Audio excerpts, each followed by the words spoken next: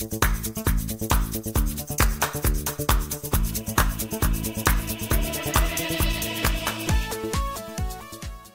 Friends நான் உங்கள் SKA பேசுகிறேன் தொடர்ந்து உலக அரசியல் பேசிக்கிட்டே இருக்கிறோம். கொஞ்சம் ஆயுதங்கள் பக்கம் போகலாமா ஒரு சரியான இன்ட்ரெஸ்டிங் வீடியோ ஒன்று பார்க்க போகிறோம் ஃப்ரெண்ட்ஸ் எல்லாரும் சீட் பெல்ட்டை ரொம்ப டைட்டாக போடுங்க. ஏன்னா பாகிஸ்தானின் ஜேஎஃப் செவன்டீன் ஃபைட்டர் ஜெட் நம்ம எல்லாரையும் ரொம்ப சீக்கிரமாகவே செவ்வாய் கிரகத்துக்கு கூட்டிட்டு போக போகுது. ரொம்ப நாளாகவே சைனா பாகிஸ்தானின் ஜேஎஃப் செவன்டீன் பற்றி வீடியோ போடுங்க. அது எப்படிப்பட்ட ஒரு போர் விமானம்? அதை இந்தியாவின் போர் விமானத்துடன் கம்பேர் பண்ணுங்கன்னு பல நண்பர்களும் நம்ம கிட்ட கேட்டுக்கிட்டே இருக்கீங்க. ஆனால் ஆல்மோஸ்ட் ஒரு பத்து மாதங்களுக்கு முன்பாகவே நம்ம சேனலில் ஜேஎஃப் செவன்டீன் பற்றி பேசியாச்சு. ஆனால் இப்போது திருப்பியும் அந்த வீடியோவில் கவர் செய்ய முடியாத அந்த நேரம் வெளியிடப்படாத ஒரு சில விஷயங்களை இந்த வீடியோவில் விளக்கமாக பார்க்கலாம். பட் அதுக்கு முன்னாடி அந்த வீடியோவில் சொல்லியிருந்த ஒரு முக்கியமான விஷயத்தை திருப்பியும் சொல்லி இந்த வீடியோவை ஆரம்பிப்போம். இந்த சைனா பாகிஸ்தான் தயாரித்த போர் விமானம் ஜேஎஃப் செவன்டீனை நீங்கள் வேணும்னா ஜங்க் ஃபைட்டர் செவன்டீன் அப்படின்னு சொல்லுங்க. இல்லையா? அதை பாகிஸ்தானின் பத்தாவது தலைமுறை இல்லைனா இருபதாவது தலைமுறை போர் விமானம் அப்படின்னு கூட சொன்னால் கூட ஆச்சரியப்படுறதுக்கு ஒன்றுமே கிடையாது. ஏன்னா ஜேஎஃப் செவன்டீன் சீக்கிரம் செவ்வாய் கிரகத்துக்கே போயிடும். ஐயையோ இந்த பாகிஸ்தான்காரங்க இந்த ஜேஎஃப் செவன்டீன் பற்றி கொடுக்குற அழும்பு தாங்க முடியலை ஃப்ரெண்ட்ஸ் அது மட்டும் இல்லை நம்ம கம்பேர் பண்ணுறோமோ இல்லையோ ஆனால் நமது எல்சிஏ தேஜாஸை விட இது ரொம்பவும் பெரியது.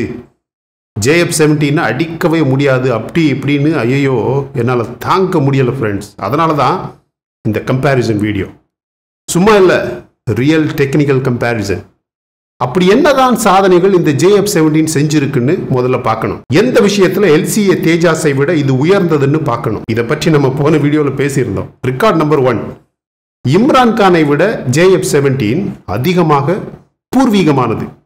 ரெக்கார்ட் நம்பர் டூ ஒரே ஒரு ஜேஎஃப் செவன்டீன் போர் விமானம் இருபத்தி இரண்டு Lockheed Martin F twenty two ரேப்டருடன் சண்டை போட்டதில் எஃப் டுவெண்ட்டி டூ அப்படியே கூட்டமாக ஓடி போயிடுச்சான் ரெக்கார்ட் நம்பர் த்ரீ ஜேஎஃப் செவன்டீனின் அட்வான்ஸ் டெக்னாலஜி பெர்ஃபார்மன்ஸை பார்த்துட்டு அமெரிக்கா உலகின் பணக்கார மற்றும் தொழில்நுட்ப சூப்பர் பவர் நாடான பாகிஸ்தானிடம் காசு பிச்சை எடுத்து தங்களுடைய ஒவ்வொரு ஃபைட்டர் ஏர்கிராப்டையும் ஜேஎஃப் செவன்டீனாக மாற்ற முடிவு பண்ணிட்டாங்க.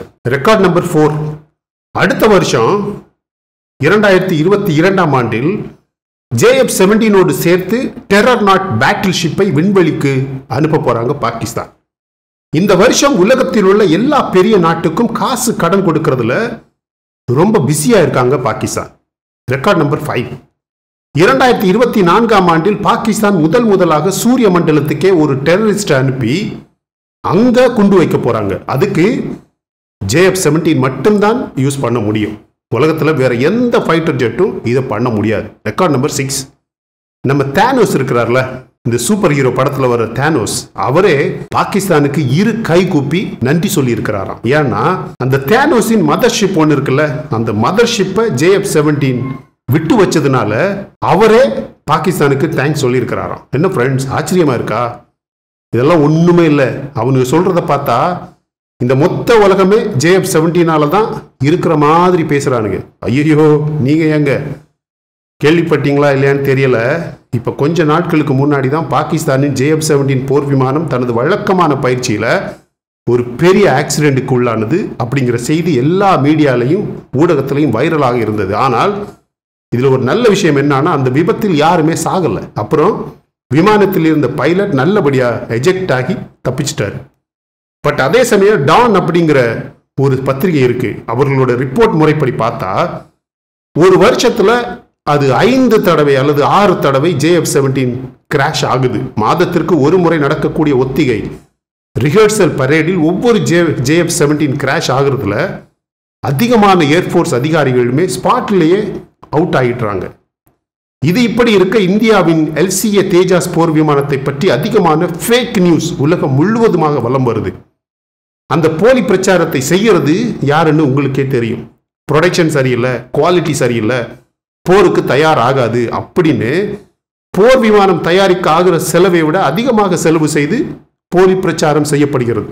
அது யாருன்னு உங்களுக்கு தெரியும். பட் அதே சமயம் பாகிஸ்தானின் ஜேஎஃப் செவன்டீனை இந்தியாவின் மிகவும் லைட் வெயிட் போர் விமானமான எல்சிஏ தேஜாஸுடன் ஒப்பிட்டு பார்த்தால் மொத்த உலகத்திலேயே அதிகமான ஆக்சிடென்ட் அண்ட் கிராஷ் வராத ஃபைட்டர் ஏர்கிராஃப்டின் பட்டியலில் எடுத்துக்கிட்டிங்கன்னா நம்ம தேஜாஸும் ஒன்று நம்மள நிறைய பேருக்கு அந்த விஷயம் தெரியாது. அதனுடைய வளர்ச்சி பாதையில் எந்த ஒரு பெரிய விபத்தையும் எதிர்கொள்ளவே இல்லை. உலகத்திலேயே எல்சிஏ தேஜாஸ் போர் விமானம் எந்த ஒரு பெரிய விபத்தும் இல்லாமல் அதனுடைய ஃபைனல் ட்ரையல் அண்ட் பரேட் முடித்த முதல் fighter jet LCA Tejas four thousand flying hours நாலாயிரம் மணி நேரம் பறக்கும் நேரத்தை எந்த ஒரு சிங்கிள் கிராஷ் விபத்தும் இல்லாமல் நிறைவு செய்த சாதனை எல்சிஏ தேஜாஸுக்கு இருக்கு. இந்த அடிப்படையில் பார்த்தால் பாகிஸ்தானின் ஜங்க் ஃபைட்டர் செவன்டீன் அல்லது பாகிஸ்தானின் பத்தாவது தலைமுறை ஜேஎஃப் செவன்டீன் ஃபைட்டர் இந்தியாவின் எல்சிஏ தேஜாஸ் ஃபைட்டரை விட சாதனைகள் அதிகம்தான். ஏன்னா அதுக்கு தான் அதிகமான கிராஷ் அண்ட் ஆக்சிடென்ட்ஸ் இருக்கு. அடுத்தது பாகிஸ்தான் நாட்டில் நம்ம தேஜாஸ் ஃபைட்டருக்கு அவனுங்க வச்சிருக்க பெயர் வந்து சமோசான்னு வச்சிருக்கானுங்க. லூசு பயலுங்க சமோசாவை பார்த்துருக்கானுங்களா? அப்படியே இருந்தாலும் தேஜஸ் எந்த ஆங்கிளில் பார்க்கறதுக்கு சமோசா மாதிரி இருக்கு சொல்லுங்க. அது சரி போயும் போய் எவனாவது ஒரு ஃபைட்டர் ஏர்கிராஃப்டை சமோசாவுக்கு கம்பேர் பண்ணுவானா? இதுலேருந்து தெரியுதா அவனுங்களோட அறிவு? இப்போ தெரியுதா? நான் ஏன் நம்மளோட ஒரு சில வீடியோகளில் நாய்வால் கம்பேர் பண்ணேன் அப்படின்னு உங்களுக்கு புரியுதா? ஆக மொத்தம் எல்லா ஜேஎஃப் செவன்டீனுமே செகண்ட் ஹேண்டாக வாங்கினது. அவனுக்கே அவ்வளோ வதுப்புன்னா ஆல்மோஸ்ட் எயிட்டி நைன் பர்சன்டேஜ் பூர்வீகமாக நம்ம சொந்த காசில் நம்ம சயின்டிஸ்ட் அண்ட் என்ஜினியர்ஸ் வச்சு பில்ட் பண்ணின தேஜாஸ் வச்சிருக்கிற நமக்கு எவ்வளோ வதுப்பு இருக்கும்? ஓகே இப்போ டெக்னிக்கல் கம்பேரிசனுக்கு வருவோம்.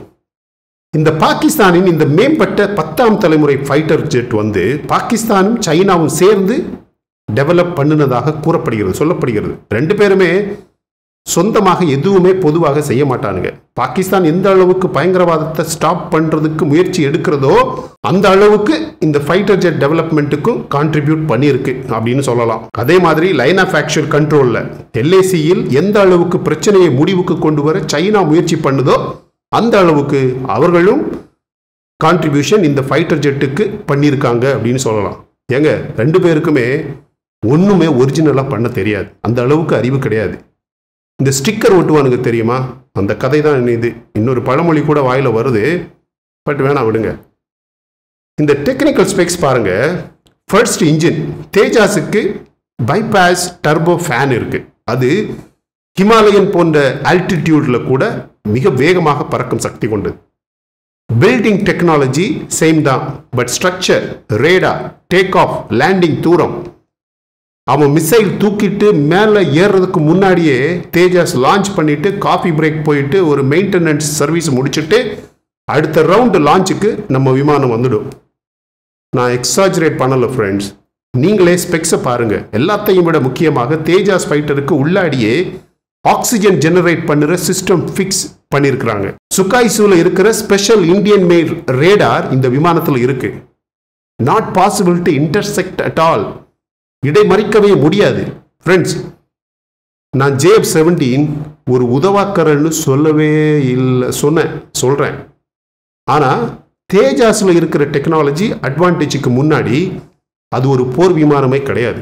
தேஜாஸின் flying flexibility and ease of flying Rafale ஃபைட்டருக்கு ஈக்குவலாக இருக்குது அப்படிங்கிற பேச்சு ஐஏஎஃப் பைலட்ஸ் மத்தியில் இருக்கதா சொல்லப்படுகிறது. மேக்சிமம் பேலோட் வெயிட் பாருங்க. மேக்சிமம் பேலோட் வெயிட்னா ஒரு போர் விமானம் எடுத்து செல்லக்கூடிய அனைத்து ஆயுதம் மற்றும் பொருட்களின் மொத்த எடை. அது ஃபியூவல் டேங்காக இருக்கலாம் ஜாமிங் பாடாக இருக்கலாம் அல்லது ஏவுகணைகள் மற்றும் குண்டுகள் போன்ற ஆயுதங்களாக கூட இருக்கலாம். ஜேஎஃப் செவன்டீனின் பேலோட் வெயிட் வந்து three thousand six hundred kilogram மூன்றாயிரத்தி அறுநூறு kilogram three point six tons தேஜாஸின் payload weight வந்து five thousand four hundred kilogram ஐந்தாயிரத்தி நானூறு கிலோகிராம். எங்க இருக்கு வெயிட் பாருங்க. அடுத்தது ஃப்ளையிங் ரேஞ்ச் ஜேஎஃப் செவன்டீன் விமானம் பதினைந்தாயிரத்தி ஐநூறு மீட்டர் சீலிங் உயரத்தில் பறக்கும்போது இரண்டாயிரத்தி நூறு கிலோமீட்டர் தொடர்ந்து பறக்க முடியும். அது மட்டுமல்ல ஆகாயத்தில் எரிபொருள் ரீஃபில் செய்ய முடியாது அந்த விமானத்தில். ஆனால் தேஜாஸ் போர் விமானம் பதினாறாயிரத்தி ஐநூறு மீட்டர் சீலிங் உயரத்தில் பறக்கும்போது மூன்றாயிரம் கிலோமீட்டர் தொடர்ந்து பறக்க முடியும். அது மட்டுமல்ல ஆகாயத்தில் எரிபொருள் ரீஃபில் செய்ய முடியும். ஆகாயத்தில் எரிபொருள் ரீஃபில் செய்தால் நான்காயிரம் கிலோமீட்டர் தொடர்ந்து பறக்க முடியும். அடுத்தது ரேடார் நவீன கால போர்களில் போர் விமானங்களின் ரேடார்கள் மிக முக்கியமான பகுதிகளாகும். ரேடார்கள் இல்லாமல் எதிரிகள் எங்கே இருக்கிறார்கள்? அவர்களது BVR beyond visual range missiles அதாவது கண்ணுக்கு தெரியாத ஏவுகணைகள் எங்கு உள்ளது என்பதை போர் விமானிக்கும் புரியாது விமானத்துக்கும் புரியாது. ஜேஎஃப் செவன்டீன் விமானத்தில் இருப்பது கேஎல்ஜே செவன் என்ற radar with range of seventy kilometre to hundred and fifty kilometre இந்த ரேஞ்சை சொன்னது யாரு? சைனாக்காரன். நம்பலாமா இல்லையா அப்படின்னு நீங்களே முடிவு பண்ணிக்கோங்க. தேஜாஸ் போர் விமானத்தில் இருப்பது HAL ELM two zero five two என்ற இந்திய radar with range of two hundred kilometre to two ninety kilometre ஒரு ரேடார் அப்படின்னு வரும்போது செவன்டி கிலோமீட்டர் எங்கே இருக்குது இருநூறு கிலோமீட்டர் எங்கே இருக்குது சொல்லுங்கள் இருநூறு கிலோமீட்டருங்க கன்னியாகுமரியிலிருந்து மதுரை தூரம். செவன்டி கிலோமீட்டர் எங்கே இருக்குது அதுவும் ரேடாக இருக்குது ஓகே அடுத்தது பிவிஆர் சக்திகள். பல கிலோமீட்டர் தொலைவில் உள்ள விமானத்தை லாக் செய்து சுடும் திறனை போர் விமானிகளுக்கு வழங்குவதால் பிவிஆர் ஆயுதங்கள் அதாவது பியாண்ட் விஷுவல் ரேஞ்ச் ஆயுதங்கள் இப்போது அதிகமான முக்கியத்துவத்தை பெற்றுள்ளது. நீண்ட தூரம் செல்லக்கூடிய ஏவுகணையுடன் நீண்ட தூரம் டிடெக்ட் செய்யக்கூடிய ரேடார் போர்க்காலத்தில் மிகவும் ஆபத்தானது மைடிய ஃப்ரெண்ட்ஸ் சொன்னா ஒரு சில பேர் நான் எக்ஸாஜரேட் பண்றதா சொல்வீங்க சொல்றாங்க. ஸோ இதுலையே விட்டுடுவோம் மை டியர் ஃப்ரெண்ட்ஸ் இதுவே போதும்னு நினைக்கிறேன். பட் டிஆர்டிஓ சொல்லுது போதாது. இதை ஹண்ட்ரட் பர்சன்ட் பூர்வீக ஃபைட்டராக மாற்றி காட்டுவோம் அப்படிங்கிற பிடிவாதத்தில் இருக்காங்க. அப்படிங்கிற விஷயம் நமக்கு நல்லாவே தெரியும். ஸோ இதையே காரணமாக காட்டி ஒரு சில பேர் தேஜாஸ் விமானம் அது இல்லை இது இல்லை வராது வரும் அது வேலை செய்யலை இது வேலை செய்யலையா போருக்கு அதை பயன்படுத்த முடியாதான் அப்படின்னு நிறைய ஃபேக் நியூஸ் வந்துக்கிட்டே இருக்கு மை ஃப்ரெண்ட்ஸ் அதுகளெல்லாம் நீங்கள் நம்பவே வேண்டாம் நம்பக்கூடாது. ஏன்னா அது எல்லாமே நம்ம ஒரு போர் விமானத்துக்கு தேஜாஸ் போர் விமானத்தை தயார் செய்கிறதுக்கு செலவழிக்கிற காசை விட அதிகமான காசு அவன் செலவழித்து ஃபேக் ப்ரப்பகண்டா அதை பற்றி தான் நேற்று வீடியோவில் பேசியிருந்தோம். போலி பிரச்சாரம் செய்கிறதே அவனுக்கு வேலையாக போச்சு. போர் உண்மையான போருக்கு காசு செலவழிக்கிறானோ இல்லையோ போலி பிரச்சாரத்துக்கு மொத்த நாடையே விற்று காசு செலவழிப்பான் போல தெரியுது. சைனா மட்டும் கிடையாது. நம்ம வீ நம்ம சேனலில் நிறைய வீடியோஸ் இருக்குது அதை பாருங்கள் இந்த போலி பிரச்சாரம் செய்கிறது சைனா மட்டுமே கிடையாது உலகத்தில். இதுக்குன்னே நிறைய நாடுகள் இருக்குது சரியா? பாகிஸ்தானுக்காக போலி பிரச்சாரம் செய்கிறதுக்குன்னே ஒரு கூட்டமே இருக்குது சொன்னால் நம்ப முடியுதா? அது மாதிரி தான் சைனாவுக்கு யார் இருக்கான்னு நேற்று கூட வீடியோவில் பார்த்துருந்தோம். அந்த வீடியோ இன்னும் நீங்கள் பார்க்கலன்னா தயவுசெய்து அந்த வீடியோ போய் பாருங்கள் ஒரு நல்ல அருமையான வீடியோ. தொடக்கத்தில் அப்படியே போர் அது இதுன்னு பேசியிருப்போம். பட் வீடியோ கடைசியில் முடியும் போது இந்த போலி பிரச்சாரத்தோட உண்மையான முகத்தை தோல் உரிச்சு காட்டியிருக்கிறோம். முடிஞ்சால் அதை கொஞ்சம் பாருங்கள் ஃப்ரெண்ட்ஸ் ஓகே இந்த வீடியோ உங்களுக்கு பிடிச்சிருந்தா லைக் பண்ணுங்கள் இன்னும் நம்ம சேனலை சப்ஸ்கிரைப் பண்ணலைன்னா மற்ற வீடியோஸ் பாருங்கள் உங்களுக்கு கண்டிப்பாக பிடிக்கும். பிடிச்சிருந்தா சப்ஸ்கிரைப் பண்ணுங்கள் my dear friends and thank you so much my dear friends for வாட்சிங் all my videos and supporting my channel Until I come back with my next awesome video, it's bye bye from Suresh. Stay safe, stay positive, stay active, and stay fit, and always dream big in your life. நம்மளால் எதையுமே சாதிக்க முடியும் அப்படின்னு நம்ம first நம்பணும் my dear friends and please take care of your parents at home உங்கள் அப்பா அம்மாவை வீட்டிலே நல்லா பார்த்துக்கங்க ஃப்ரெண்ட்ஸ் தேங்க்யூ